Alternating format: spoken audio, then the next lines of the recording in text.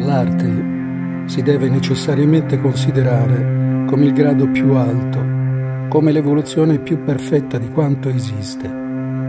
Ci offre infatti essenzialmente la stessa cosa che il mondo visibile, ma più concentrata, più perfetta, con scelta e con riflessione. Possiamo quindi, nel vero senso della parola, chiamarla il fiore della vita se il mondo come rappresentazione non è che volontà divenuta visibile, l'arte è precisamente tale visibilità resa più chiara.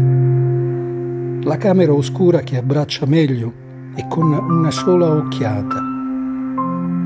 È lo spettacolo nello spettacolo, la scena nella scena.